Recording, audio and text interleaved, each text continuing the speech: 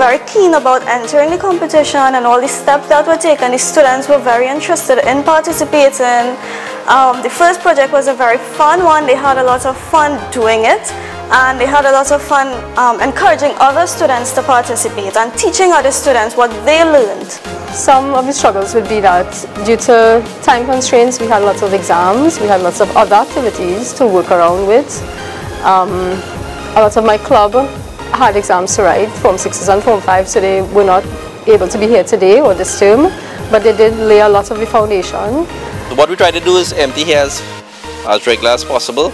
On weekends, nobody will be here. We don't have no rats, no rodents.